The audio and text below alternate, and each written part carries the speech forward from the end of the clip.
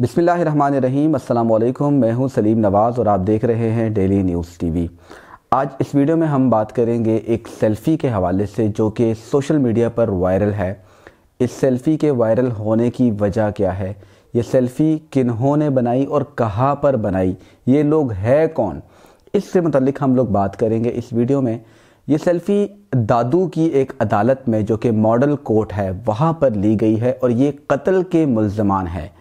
इन लोगों ने एक नहीं, दो नहीं, तीन लोगों को कत्ल किया। सरेआम एक डीएसपी के ऑफ़िस के सामने पिछले साल 17 जनवरी को गालबन। और ये कत्ल करने वाले जो कातिल है, ये दोनों एमपीए है और इनका ताल्लुक पाकिस्तान पीपल्स पार्टी से है। एक का नाम है सरदार चांडियो और दूसरे का नाम है बुरहान चांडियो। तो अदालत में इनकी तारीख चल रही थी, केस चल रहा था। तो अपनी तारीख पर जब ये आए, जज साहब कमरे अदालत में मौजूद नहीं थे तो उनके आने से पहले इन्होंने, इन कातलों ने या दहशतगर्द भी आप इनको कह सकते हैं, जिनका ताल्लुक पाकिस्तान पीपल्स पार्टी से है, उन्होंने ये सेल्फ़ी बनाई और सेल्फ़ी बाकायदा सोशल मीडिया पर वायरल की गई। बताया गया हम लोगों को कि भाई, इस मुल्क के अंदर जो ताकतवर है, उसका आप कुछ भी नहीं बिगाड़ सके अगर वो आपके एक नहीं, दो नहीं, तीन अफराद एक ही ख़ानदान के मार दें तो भी आप उनका कुछ नहीं कर सकते। हाँ उन कातलों का ताल्लुक एक सियासी जमात से होना ज़रूरी है और इन कातलों का ताल्लुक पाकिस्तान पीपल्स पार्टी से थे। अब ये तीन लोग कौन थे और इनके पीछे अब कौन बचा है जो इनसे इंसाफ मांग रहा है या इनको सज़ा दिलवाने की कोशिश कर रही है? वो एक लड़की है जिनका नाम है उम्मे रुबाब चांडियो। उसके वालिद, चचा और दादा को कत्ल किया गया था।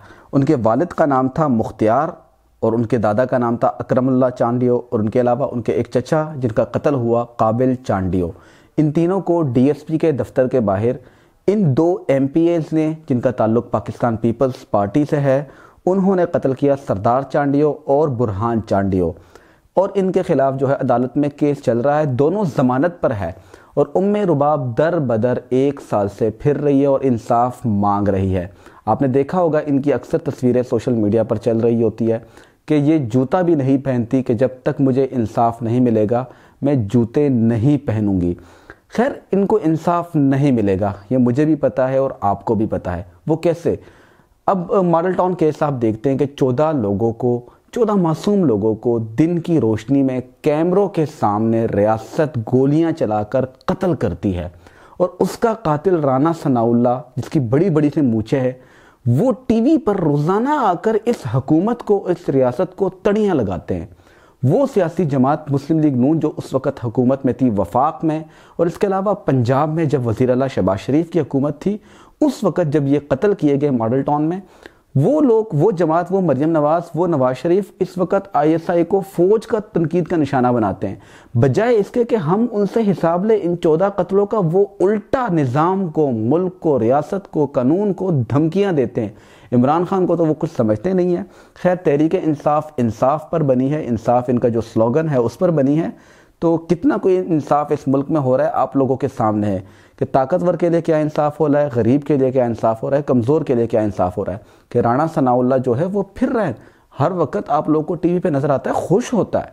और अब ये जो दो भाई सामने हैं, अदालत में बैठकर, जो कि एक मॉडल कोर्ट है, वहाँ पर बैठकर सेल्फी बना रहे हैं और हंस रहे हैं, खुश है। मज़ाक बनाया हुआ है निज़ाम का, क्योंकि इनको पता है, हमारे पास दौलत है। हमारे पास सियासी ताकत है, हमारे पास मुल्क की एक बड़ी जमात है तो हमें किसी ने क्या कहना है? हमें कौन सज़ा कर सकता है? और आपको वाकई कोई सज़ा नहीं होने वाली। जो ये केसेस चल रहे हैं, इस तरह के बहुत से चले हैं। दो हज़ार चौदह में ये मॉडल टाउन के कत्ल हुए तो अभी तक राना सनाउल्ला को एक दिन भी जेल में आप लोगों ने डाला कि भाई, आपने चौदह बंदों को कत्ल किया चल दो तीन दिन आप जेल में रह लें, नहीं हुआ ऐसे। तो इनके साथ भी कुछ नहीं होगा। इस वीडियो में मैं पाकिस्तान की अदालतों को बिल्कुल भी टारगेट नहीं कर रहा, क्योंकि अदालतों के बारे में अगर कोई बात की जाती, फिर आप पर तोहन अदालत लगा दी जाती है। बस ओवरऑल इस मुल्क के निज़ाम इंसाफ पर बात की है कि इस मुल्क में ज़िंदा रहने के लिए आपका ताकतवर होना ज़रूरी है।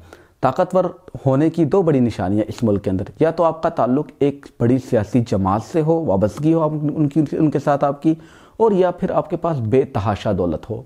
आप कुछ भी करें, खुदा की कसम, मैं आपको बता रहा हूँ कि ये तीन कत्ल किए हुए इन्होंने। एक ख़ानदान के भाई को, उसके बाप को, उसके दूसरे भाई को मतलब कि एक उमेर बाप के चचा थे, एक वालिद थे, एक दादा थे, उनको सरेआम डीएसपी के दफ्तर के सामने कत्ल किया और ये लोग हँसी खुशी खेल रहे अदालतों के अंदर, सेल्फियाँ बना रहे हैं।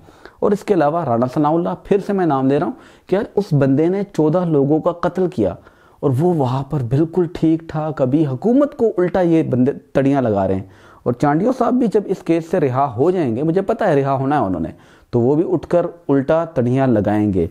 ये बेचारी लड़की उम्र रुबाब, इसको इंसाफ तो नहीं मिल रहा अल्लाह करे उसको ज़िंदगी मिल जाए, उसकी ज़िंदगी महफूज रह सके, बस इतनी ही दुआ कर सकते हैं। इसी दुआ के साथ मुझे दीजिए इजाज़त, अल्लाह हाफिज़, अपना ख्याल रखिए, पाकिस्तान, पाइंदाबाद।